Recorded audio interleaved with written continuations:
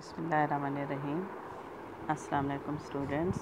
आज पाक स्टडी में, मुताल पाकिस्तान में हमारा टॉपिक जो है, हमने पहले जो है वो तहरीक खिलाफत देखी। फिर हमने जो है मुस्लिम लीग और तहरीक खिलाफत के बाद अब हम ये देखते हैं कि हम किस तरह आहिस्ता आहिस्ता पाकिस्तान बनाने की तरफ़ जा रहे हैं और डिमांड फॉर पाकिस्तान से पहले हम ये देखेंगे कि twenty third March nineteen forty को जब पाकिस्तान की अलहदा वतन की डिमांड की गई और उसमें जो है क्या वजूहत हुई कि हम जो है सेपरेट होमलैंड की डिमांड करने पर मजबूर हुए तो जो फैक्टर्स हैं factors for demand for Pakistan पा, मुताल पाकिस्तान के महरक़ात वो हम आज देखेंगे। जो है महरक़ात या factors of demand for Pakistan क्या थी तो उसमें हम देखते हैं कि पाकिस्तान का मुतालबा क्यों किया गया उसकी तख्लीक का जो ज़रूरत क्यों महसूस हुई? कैसे लोगों के अंदर या बरसग़ीर के मुसलमानों के अंदर ये जज्बा पैदा हुआ कि हमें जो है अलहदा वतन चाहिए?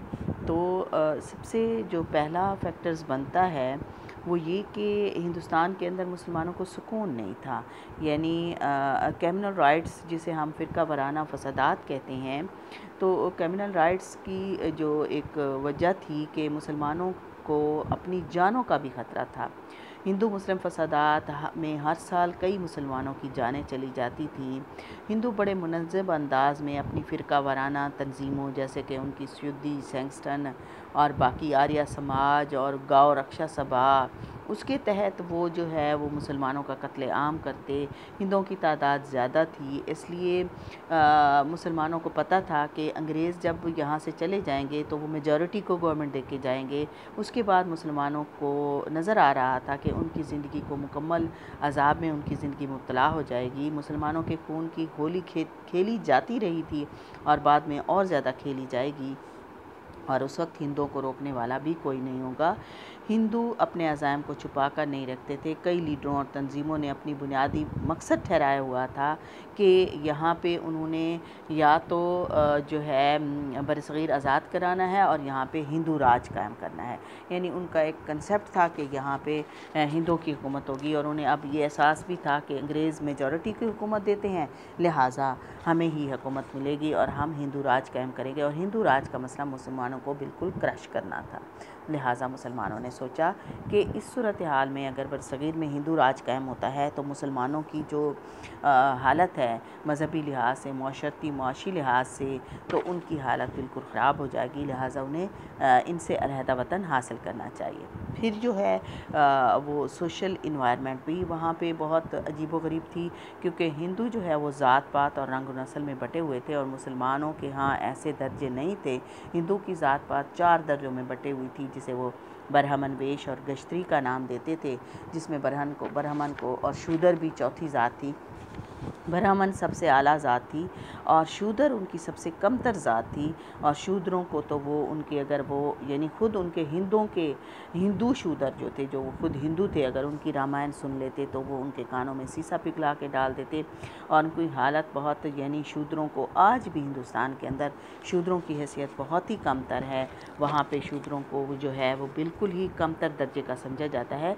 तो मुसलमानों को तो शूदरों से भी बदतर समझा जाता था और मुसलमान मुआशी माशरती लिहाज से मुसलमान अगर उनके साथ मेल जोल या हिंदुओं के घर में चले जाते या उनके किचन में, रसोई घर में जाते तो वो अपने किचन को गाय के गोबर और गाय के पेशाब से पाक करते कि यानी एक मुसलमान अगर उसमें चला गया है तो वो निजस और नापाक है और गाय का गोबर वगैरह जो है वो उसे पाक कर देगा। तो मुसलमानों को ये एहसास था कि माशरती मकाम पर भी उनकी हैसियत जो है हिंदुओं के साथ बहुत मुश्किल में है। हिंदुओं के मुकाबले में वो उसे कमतर समझते हैं। लिहाजा अगर हिंदू मुस्तकिल तौर पर उन्होंने अपना राज काम कर लिया तो मुसलमान मुस्तकिल उनके ग़ुलाम हो जाएँगे। तो मुसलमानों को दो लेवल पर लड़ना था। अंग्रेज़ों से आज़ादी तो हासिल करनी थी, लेकिन साथ ही मुसलमानों को अंग्रेज़ों से ही, अंग्रेज़ों के रहते हुए ही हिंदू से आज़ादी हासिल करना चाहते थे। क्योंकि उन्हें पता था कि अगर अंग्रेज़ चले गए और हिंदू ने झांसे में भी दे रहे थे कि वो चले जाएँगे तो हम आपको मुल्क दे देंगे। तो मुसलमानों को ये एहसास था था कि हिंदू कभी भी उन्हें अलहदा नहीं करेंगे। जैसे कि कश्मीर की सूरत हाल है कि आज भी वो उन्हें आज़ाद नहीं कर रहे थे। तो कैसे अंग्रेज़ों के चले जाने के बाद वो पाकिस्तान बनाने में या मुसलमानों का अलहदा वतन बनाने में आ, शामिल होते? तो इस सूरत हाल में मुसलमानों ने अपनी जुदागाना ममलिकत की जो है वो डिमांड कर दी। फिर हम देखते हैं कि जो मुस्लिम लैंग्वेज और कल्चर है, उसको हमने शुरू में भी देखा, अलीगढ़ तहरीक में भी देखा कि मुसलमानों की ज़बान और सकाफ़त को किस तरह जो है वो निशाना बनाया गया। 1867 में, अठारह सौ सड़सठ में ही उर्दू हिंदी कॉन्ट्रोवर्सी शुरू हुई और मैंने आपको बताया था कि उर्दू और हिंदी का जो बोलना है, समझना है, वो आज भी अगर हिंदी बोली जा रही हो तो हम समझ सकते हैं और उर्दू बोली जा रही हो तो हिंदू बोलने में वो एक जैसी है। अलबत्ता उनके रस्म ख़त में फ़र्क है कि हिंदी देवनागरी रस्म ख़त है और जो उर्दू है, वो अरेबिक रस्म ख़त है। तो उर्दू का जो अरेबिक रस्म ख़त है, वो उनकी मुखासमत था और वो चाहते थे कि हिंदुस्तान के अंदर उर्दू की जगह पे पूरे हिंदुस्तान में हिंदी राज कर दी जाए। तो यहाँ पे मुसलमानों का जो सकाफ़त का एक ज़रिया होता है, वो ज़बान भी होता है। तो मुसलमान की सकाफ़त और ज़बान को भी जो है, वो एड़ी चोटी का ज़ोर लगा के हिंदू, हिंदी राज करना चाहते थे। मुसलमानों की सकाफ़त, सकाफ़ती कदरों को मिटाना चाहते थे तो यहाँ पे मुसलमानों के लिए ज़रूरी था कि वो अपने लिए एक अलहदा वतन हासिल करें, जहाँ पे अपनी सकाफ़त और ज़बान का तहफ़ हासिल कर सकें। फिर हम देखते हैं कि टू नेशन थ्योरी जो है, दो कौमी नज़रिया, मुसलमानों का दावा था कि वो टोटली हिंदू से अलहदा हैं, और वाकई ये था कि वो सिर्फ़ मजहबी लिहाज से ही नहीं थे। मुसलमानों की सकाफ़त, ज़बान, रस्म रिवाज, अंदा अंदाज ज़िंदगी उनकी माशरत, मीशत, सियासत टोटली हिंदों से जुदा थी। तो वो कायद अज़म ने भी फरमाया था, मुसलमान कौम की हर तारीफ़ के लिहाज से एक अलहदा कौम है। तो मुसलमान अपने आप को अलहदा कौम समझते थे और हिंदुस्तान के अंदर जो वन नेशन का एक तस्वर दिया गया, उसे हमारे रहनुमाओं ने, अलामा इकबाल ने भी कायद अज़म ने भी और ससैद ने भी उससे इनकार किया और कहा कि हिंदुस्तान के अंदर एक नेशन नहीं बसती, बल्कि बहुत सी कौमें बसती हैं। तो मुसलमानों को बहसीत कौम अपने वजूद को बरकरार रखने के लिए, अपना सियासी निज़ाम लाने के लिए उनको मुसलमानों को ये ज़रूरत थी कि वो अपने लिए अलहदा वतन हासिल कर सकें। क्योंकि उन, क्योंकि उनका कौमी वजूद भी ख़तरे में था, उनकी कौमियत भी ख़तरे में थी, क्योंकि हिंदू मुख्तलिफ़ कौमों में, कौमों को अपने अंदर मर्ज कर चुके थे। मुसलमानों को भी वो हिंदुज़म में मर्ज करना चाहते थे। तो मुसलमानों को ये एहसास था कि अगर अंग्रेज़ चले गए तो मुसलमानों को बहसीत कौम भी ख़त्म करने की कोशिश करेंगे। हम अलहदा कौम हैं तो हमें अलहदा वतन चाहिए। फिर कांग्रेस मिनिस्ट्रीज़ ये उन्नीस से उन्नीस तक, यानी 1937 को इलेक्शन कराए गए सूबाई लेवल के। अंग्रेज़ अभी मरकज़ में बैठे थे, उनका होल्ड भी था। उन्होंने प्रोवेंशल लेवल पर उन्नीस में इलेक्शन कराए, और ये पाँच साल के लिए जो वजारतें बनी, उसमें बहुत से सूबों में कांग्रेसों, कांग्रेस को, जो है वो कामयाबी हासिल हुई तो उसने उन्हें वहाँ पे वजारतें बना ली।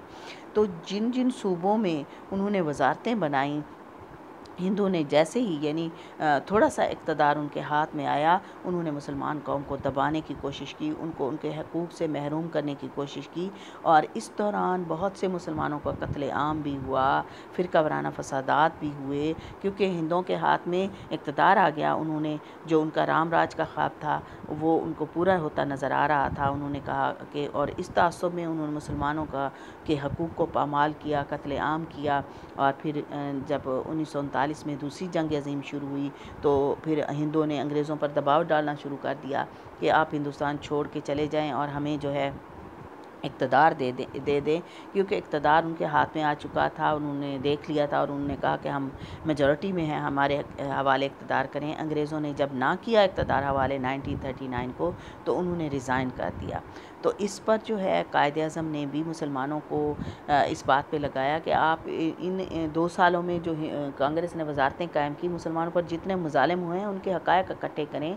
और फिर कायद अज़म ने मुसलमानों को कहा कि आप योम निजात मनाएँ, डे ऑफ़ डिलीवरेंस बनाएँ, कि हमें हिंदुओं की इस जो है ालमाना हुकूमत से निजात मिली।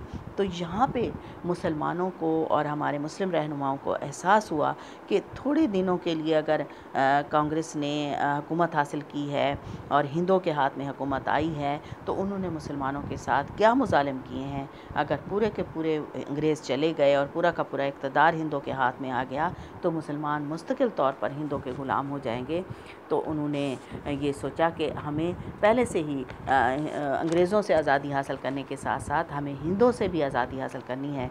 लिहाजा हम अपना अलहदा वतन हासिल करें और उन्होंने मुतालबा पाकिस्तान यहाँ पे कर दिया। उसके बाद हम देखते हैं कि किस तरह जो है मुसलमानों को जो है, ज़रूरत थी अपने लिए एक इस्लामी कंट्री हासिल करने की, क्योंकि मुसलमान जो है, वो इस्टेब्लिशमेंट ऑफ़ इस्लामिक सिस्टम भी करना चाहते थे। कि इस्लामी निज़ाम का क़याम भी उनका एक ख्वाब था और इस्लाम क्योंकि एक मुकम्मल जबता हयात है कंप्लीट कोड ऑफ़ लाइफ है।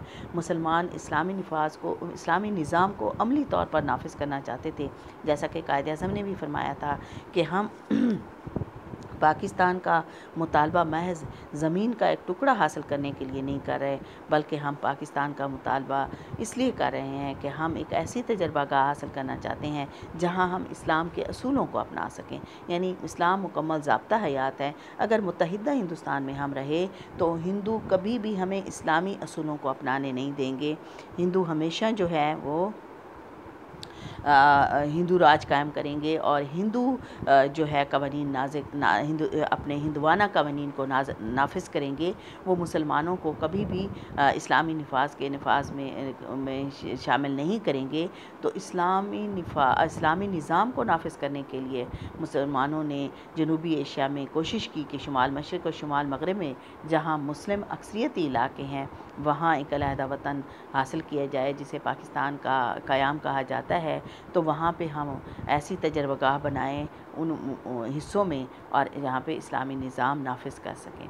वो पाकिस्तान को पूरे आलम इस्लाम की क़वत की शक्ल में मुसलमान देखना चाहते थे कि पूरे आलम इस्लाम में जो पाकिस्तान है, वो एक क़वत बन के उभरे, जो मुसलमानों का ये मुल्क है।